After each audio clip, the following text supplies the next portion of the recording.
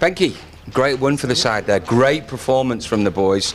Uh, they've been working hard all winter, as we mentioned, but to get outside onto the grass and to get a win under our belts is a great feeling. Yeah, I think we, we had quite a tough uh, first game, uh, and that I think was uh, a good learning curve for us first out. And I think it is difficult because the blast is a few months away, uh, but we don't really have much time to prepare other than this. So it's nice to have those conversations, and uh, there's nothing better than actually seeing it out in, in the middle and, and in a match rather than just the nets. Uh, so. Uh, what has been great is a lot of our young players have had opportunities. They uh, uh, have taken it. They've learned. They're going to learn massively from this, and I think it just gives us some really good content to uh, digest over the next six weeks or so during the championship cricket. And so when the when the blast does start, we we almost feel like we a few steps ahead um, when it when we when we hit the, the ground in that in that comp. Yeah. Benki, we, we mentioned before that we've got a few players out here in the IPL and a few players that are not with us, but that's a great opportunity for our younger boys to come in and show what they can do.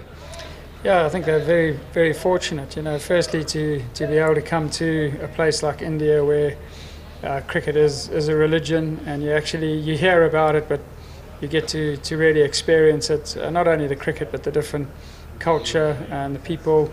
Uh, so it's it's great for them to have the opportunity on the cricket field, but also just the, the life experience, I think, is, is probably just as invaluable.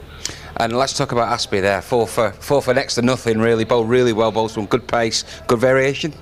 Yeah, he is a he's a very exciting young cricketer. He's a strong man, um, and he offers all three skill sets. You know, he's good with a bat, with a ball, and uh, he. I'm sure there will be a few uh, people in the hundred looking looking out for him. But for us at Lancs, I think it'll be exciting to see what he can do on the field for us in, in the blast. And if he has a good good few few weeks there, then as we all know, the, there's so many opportunities in world cricket now.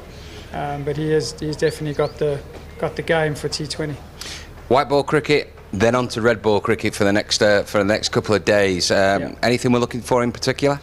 I think we, we wanted to get as much white ball cricket as we could um, in uh, uh, because there isn't a lot of time for that. So that's sort of that now done, and we'll start now really preparing for that first game uh, against Surrey on, on the 5th.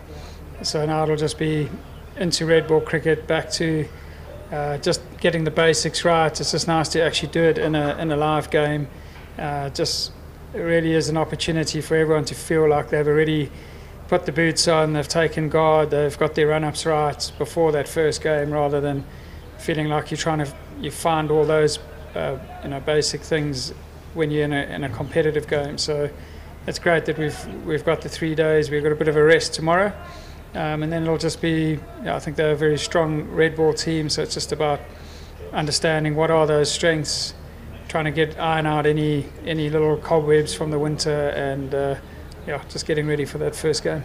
Magic coach. Thanks for joining us. Cheers. Back to the studio. Cheers.